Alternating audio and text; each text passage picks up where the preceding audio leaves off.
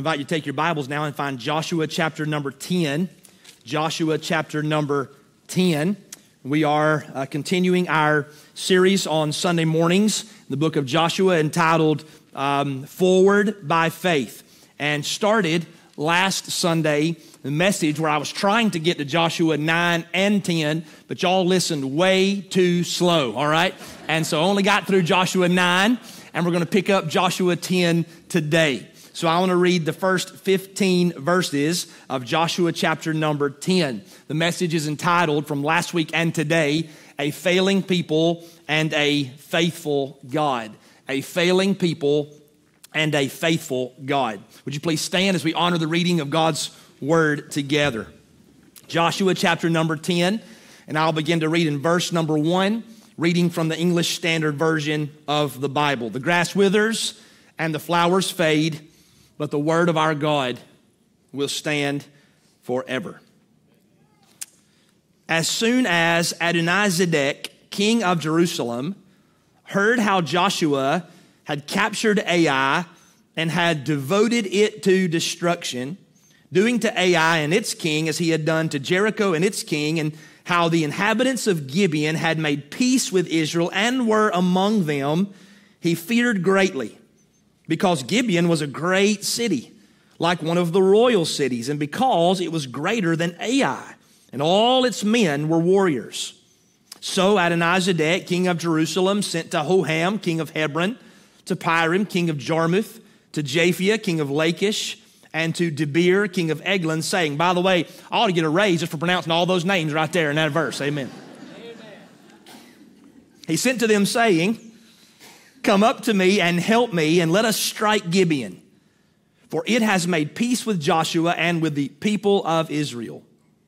Then the five kings of the Amorites, the king of Jerusalem, the king of Hebron, the king of Jarmuth, of Lachish, and the king of Eglon, gathered their forces and went up with all their armies and encamped against Gibeon and made war against it. And the men of Gibeon sent to Joshua at the camp of Gilgal, saying, do not relax your hand from your servants. Come up to us quickly and save us and help us, for all the kings of the Amorites who dwell in the hill country are gathered against us.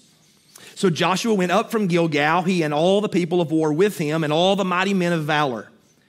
And the Lord said to Joshua, Do not fear them, for I have given them into your hands. Not a man of them shall stand before you. So Joshua came upon them suddenly, having marched up all night from Gilgal. And the Lord threw them into a panic before Israel, who struck them with a great blow at Gibeon and chased them by the way of the ascent of Beth Horon and struck them as far as Azekah and Makkedah and as they fled before Israel while they were going down the ascent of Beth Horon, the Lord threw down large stones from heaven on them as far as Azekah, and they died. There were more who died because of the hailstones than the sons of Israel killed with the sword.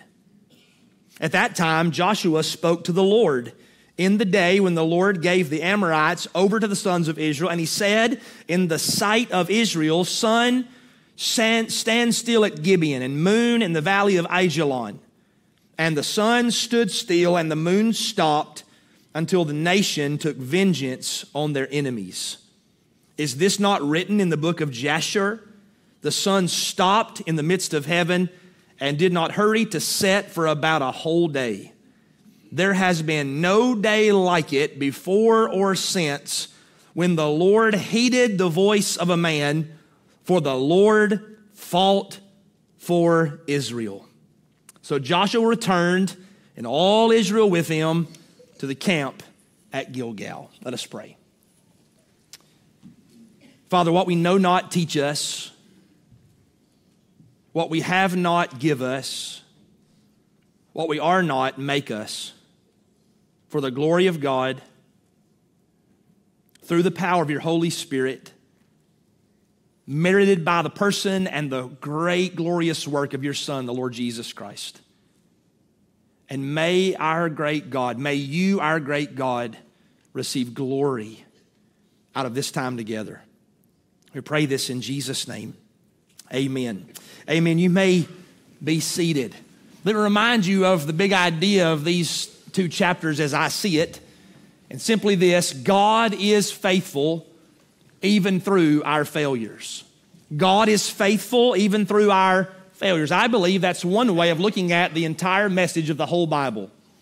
That the entire message of the Bible is summed up in this way that it's the story of a failing people and a faithful God who is faithful even through our failures. Chapter 9 was the story of a failing people. At the end of chapter 9, we have Israel in covenant with a Canaanite people. How did that happen? How did that happen? Because they failed to recognize deception. The people of Gibeon deceived them and they were caught by that trickery. They failed to recognize deception because they failed to ask the Lord's direction. Verse 14 of chapter 9 says So the men of Israel took some of their provisions, but did not ask counsel from the Lord. They did not ask counsel from the Lord. So they made a covenant of peace with this Canaanite people. And what do you do when you find yourself having made a hasty, perhaps foolish, and even sinful decision? Well, you do what the people of Israel did. You, you make yourself as faithful, you live as faithfully as you can in the midst of that brokenness, in the midst of that broken situation. And they did that. They applied biblical principle to their difficult situation and learned to live faithfully. And they kept their covenant. How do we know? Because that's what chapter 10 is about. If chapter 9 is the story of a failing people, then chapter 10 is the story of a faithful God. A faithful God. In spite of Israel's failures, God remains faithful. Chapter 10 begins with this one named Adonizedek, king of Jerusalem. By the way, isn't it something that this city, Jerusalem, the city of the king, where God would make his name dwell and that be his place of habitation, the Bible says that here it is a hostile people with a hostile leader to God and to his purposes. So, this leader of Jerusalem, king of Jerusalem, and Adonizedek, heard what Joshua had done and how the inhabitants of Gibeon had made peace with Israel, and they were among them. By the way, regardless of how they got there, they are now in the people of God. They are now grafted in to this people in covenant with God and his people, and they are living among them. When he heard that, he feared greatly because Gibeon, he says, was a great city that all its men were warriors. And this city, with all of this warrior faithful, they did not rise to fight. Instead, they humbled and surrendered to the God of Israel and made peace. When he heard that, he gathered together an, uh, a, a council of kings and they came together to fight against Gibeon. And the Bible says they made war against it. I, by the way, just something that the Lord kind of helped me to see in this. I don't have a point for this, but let me give it to you anyway. Is that this people, Gibeon, that they made peace with the people of Israel, were grafted into God's family, and then opposition arose from those who were still hostile to God. I need to tell you this. We want you to trust Jesus Christ as your Lord and Savior. We feel an urgency to declare to you the gospel and say that today is the day of salvation. Today is the day that you should repent lest you perish. Repent and believe the gospel. But hear me when I tell you this that when you bring yourself in submission to God, when you align yourself with God's people and God's purposes, you can be assured that those who hate God, that those who oppose God, that they will stop being your friend and they will become your enemy. Amen. And you can expect that.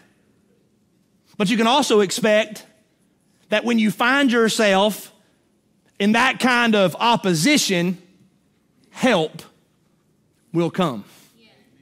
Help will come. And so the men of Gibeon, they cry out.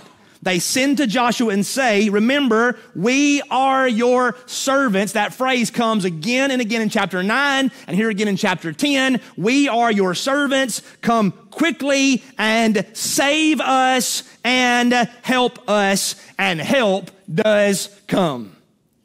Help comes from Israel, but more so, help comes from the Lord.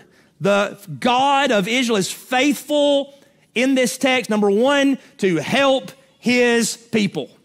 To help his people. And as the people of Israel go to keep their word and come to the aid of the people of Gibeon, the Lord does a great work. The Lord said to Joshua in verse 8, Do not fear them, for I have given them into your hands. That is the consistent language of assurance throughout the book of Joshua. I have given them into your hands. Therefore, do not be afraid. Not a man of them shall stand before you. And so Joshua comes upon them, and the Lord, the Bible says in verse 10, here's the first instance of supernatural help that comes. Verse 10, and the Lord threw them into a panic. The Lord routed them, some translations say. He threw them into a panic, and as they fled, while they were going down the ascent of Beth Horon, the Lord threw down large stones from heaven on them as far as Azekah, and they died. And here is the statement. Now, Israel's fighting, but God is fighting, and what God does matters more. Because at the end of verse number 11, it says, There were more who died because of the hailstones than the sons of Israel killed with the sword. Two times in this text, the Bible says that the Lord fought for Israel. The Lord is the divine warrior who is fighting for his people. He is the warrior and he is the victor and he is fighting for his people. He is the source and the cause of Israel's victory. And by the way, did you notice here that God, the creator, he even employs the work of his creation to ensure that his purpose will stand and that his people will be victorious. He throws down hailstones on these people preacher, there's a preacher by the name of Dale Ralph Davis who says about the God of Joshua 10 that no mild God or soft Jesus can give his people hope. Listen to me. We do not serve a mild God. We do not worship a soft Jesus. We worship a divine warrior who will literally move heaven and earth and employ the weapons of his own creation, turning them against his enemies to ensure his people's success and their victory. This is our God. He is faithful to help his people. Now, I want to take a bold chance here because I hadn't, didn't mark it in my Bible, but I want you to hear how in the prophet Habakkuk there is a commentary on this. I said a bold chance because I don't, I don't know where Habakkuk is in my Bible, so I got to try to find it. I know it's before the New Testament. I know it's in the prophets. So here's what I do. Here's, here's what you should do. You open your Bible in the middle and you begin to flip and look for the right name. That's what you do. I found it. I talked long enough. Y'all thought I was, but I was just flipping my Bible the whole time, and I found it. Habakkuk chapter number three. And listen to this kind of almost a, a, a commentary or a perspective on what happened here. Habakkuk 3, verses 11 through 13. The Bible's, let me, let me begin back in verse number 10.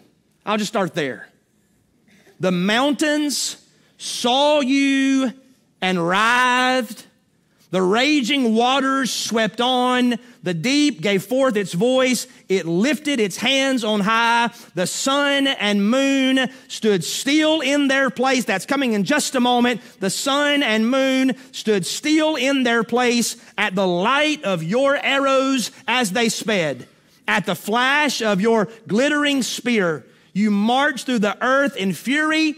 You threshed the nations in anger. You went out for the salvation of your people. You went out for the salvation of your people, for the salvation of your anointed. You crushed the head of the house of the wicked, laying him bare from thigh to neck.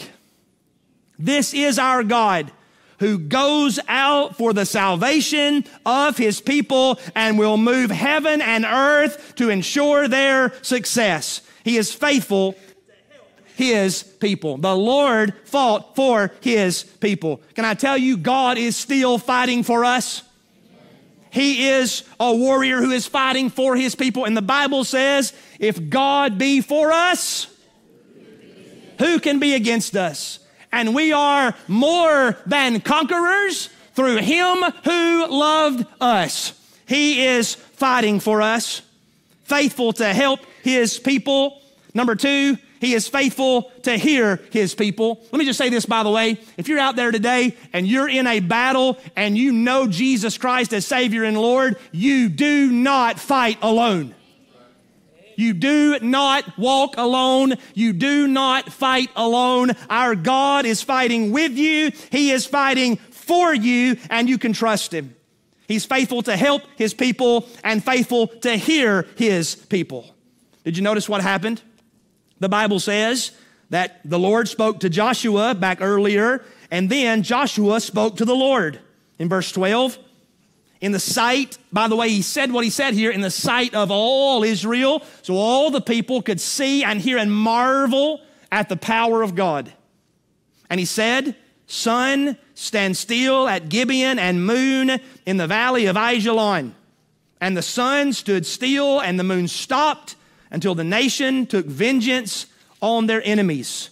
Is this not written in the book of Jasher? This is a a non canonical book that was apparently a record of, of poetic descriptions of great battles and warriors and the people of Israel and their history. Is it not written in this book, the Bible says? The sun stopped in the midst of heaven and did not hurry to set for about a whole day. No doubt something miraculous happened here. The preacher, what exactly happened? Are you ready for this? I don't know. I don't know. Something happened. Something supernatural happened. Something miraculous happened. But the details are not quite so clear. If you want to know, ask Pastor Zach after the service but I don't know. I heard about um, a school somewhere, a, a training school for, for ministers somewhere, and, and one of the professors there was a very well known scholarly guy. And when visiting preachers who had graduated from the school would come back to preach, he'd come to hear them one time. And one particular well known preacher came back to preach in chapel that, that vaunted professor, that, that uh, wonderful man came back and sat in the chapel. And when the service was over, he made a beeline for that preacher and he said to him, I've heard you once, I will not come to hear you again. And the preacher thought he had done a terrible job. He said, What did I do wrong? I got a wrong vocabulary, or I had a wrong Greek or Hebrew, whatever it was. I, I said something heretical. He was so concerned. And he said, Why is that? And the professor said, I only come back to find out if our graduates, listen now, are big Godders or little Godders. If they have and talk about a big God or a little God. And if I find out that they are big Godders who believe in and who preach about a big God, I know they're going to be okay and there's no need to come back a second time. Friends, I want to tell you something. At Pine Terrace Baptist Church, we believe in a big God. We believe in a great big God. A God who is big and can do all his holy will. How do you explain a miracle? The best answer is the answer of faith. The Lord is God and nothing is too hard for him. And nothing is outside of his disposal to do with as he wishes for the good of his own purpose and the blessing of his own people. Kent Hughes, in his sermon on this text, says, For all their future history, the people of Israel would know that the Lord, the sovereign creator, used his sovereign rule over his created order to accomplish his purposes for his people. God, the creator, can speak to his creation and it obeys his will. And he literally, literally can bend heaven and earth under the power of his word and his will. It was a bona fide miracle. But you notice the emphasis of the text? What does the text say about this extraordinary experience? Verse 14 There has been no day like it before or since. Why? Because of this great cosmic disturbance, this cosmic supernatural miracle? No, there's been no day like it before or since when the Lord heeded the voice of a man. When the Lord heeded the voice of a man. God did what he did here in some way in response to Joshua's cry unto him. In Joshua's prayer, in response to Joshua's prayer, the Bible says that day was unique, not so much for some unusual daylight or darkness, but because God listened to this man's prayer. Isn't it still amazing that God listens to the voice of a man or a woman that comes to him?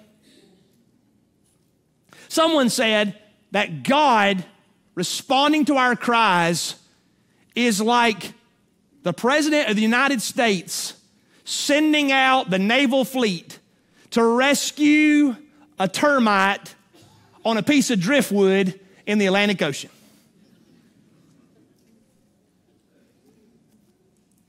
In case you're wondering, in the illustration, we are the termite on the driftwood in the Atlantic Ocean. And the God of heaven dispatches the resources of heaven and earth for the cry and the good of his people Joshua is walking in God's will. God had spoken to him. He had divine revelation. And assured of the sure and certain knowledge of God's will, having that, he spoke boldly and faithfully, and God responded. And the Bible says that if we ask anything according to his will, he hears us. God still listen to the cries of his people that are walking in his will and cry out unto him according to that revealed will. God is faithful. Somebody said, Ought we not to catch our breath? Ought we not catch our breath to think that the God who is seated on high stoops down low and bends his ear to lips of dust and ashes. And yet, that is the truth of the Bible about our prayers. that the God of heaven stoops down and bends his ear to the cry that come from the lips of dust and ashes. God is faithful to help his people. He fought for Israel. God is faithful to hear his people. And thirdly and lastly, God is faithful to crush his enemies. He's faithful to crush his enemies. Now, beginning in verse 16, what we discover is that these five kings, this coalition of kings in opposition, they fled and hid themselves in a cave. And Joshua said, just put stones at the door of the cave and then leave them there. You've got work to do. So they went back, they, they walled up the cave, capturing the kings inside who had hidden themselves there. They went and they finished off the enemy, and then they come back to deal with the kings. And Joshua says, Take those stones away from the mouth of the cave and bring those kings to me. And then he calls for the elders of the people, the leaders of the people, and he says to them, Come and put your feet on the necks of these kings as a sign of their defeat, of your victory, of God's victory, of God's faithfulness. And here's what Joshua says when he tells them to come and put their necks on them. He says, Come near, put your feet on the necks of these kings. They do that. And then Joshua says to them in verse 25, verse 25, Joshua says to them, Do not be afraid or dismayed. Be strong and courageous. That's the echo of chapter number one at the beginning of this whole thing. Do not be afraid or dismayed. Be strong and courageous, for thus for thus the Lord will do to all your enemies against whom you fight. And he strikes down all these kings and makes them a public spectacle, hanging them on five trees until evening, bringing them down and threw them in, back into that cave where they had hid, which was now their tomb and put the stones back in place to cover up their dead bodies, and so they there remain. Verse number 27 says, to this very day. And the end of this chapter is the story of the defeat of king after king after king after king as the Lord gives all of his enemies into the hands of his people. And verse number Verse number 41 says, And Joshua struck them down from Kadesh Barnea as far as Gaza and all the country of Goshen as far as Gibeon. And Joshua captured all these kings and their land at one time because the Lord God of Israel fought for Israel. They returned to Joshua at the camp at Gilgal. Friends, they listen to me now. What you've just heard is the story of the whole Bible. Because in way back in the book of Genesis chapter 3, on the other side of the fall into sin and the curse and judgment that comes, there's a gospel promise in foreshadowing. That's foreshadowed for us where it says there in Genesis 3:15 that there will come the seed of the woman. He says this to the snake. God says this to the serpent. The seed of the woman will come, and you will bruise his heel, but he shall crush your head. And here, these kings are the seed of the serpent. And the people of God are a part of the line of the seed of the woman, and they put their feet on their necks, symbolically crushing their head. Anybody else here smelling what I'm cooking in this place? He says, All your enemies. Thus ye shall do to all your enemies. And what does the Bible say in Romans 16 20? Paul says there as a parting shot to the Roman Christians, 1620, the God of peace will soon crush Satan under your feet. Friends, when Jesus Christ came and lived and died on the cross and rose from the dead, he was putting one foot on the serpent and one foot on hell and crushed them both under his feet when he got up out of that grave. And now he is ruling and reigning from heaven over all his enemies. And everything is put in subjection under his feet. And you and I, you and I share in that great victory. Brothers and sisters, we are not fighting for victory, we are fighting from victory. He's won the victory. He's crushed the head of the serpent. The time is coming when all his enemies will be his footstool. He'll put his feet up in victory, in declaration that God has won. His enemies don't have the last word. They all will be crushed under his feet. Every single one. I know this world can be discouraging. I know times are difficult. I know things are disgusting in a lot of ways, but you just rest assured, my brother and my sister, the God of peace, the God of peace will come and he will crush Satan under his feet. That is our hope. That is the great story. That is what our God has done and what our God will do. The question is are you lined up with the seed of the woman or the seed of the serpent? Will you be the one with your foot on the neck? Or will somebody else's foot be on yours? Because the only way to have this assurance, the only way to know this victory is to be aligned with the seed of the woman, the Lord Jesus Christ, repenting of your sin, trusting Him as Lord and Savior owning Him as the only true King, and gladly submitting your life to Him.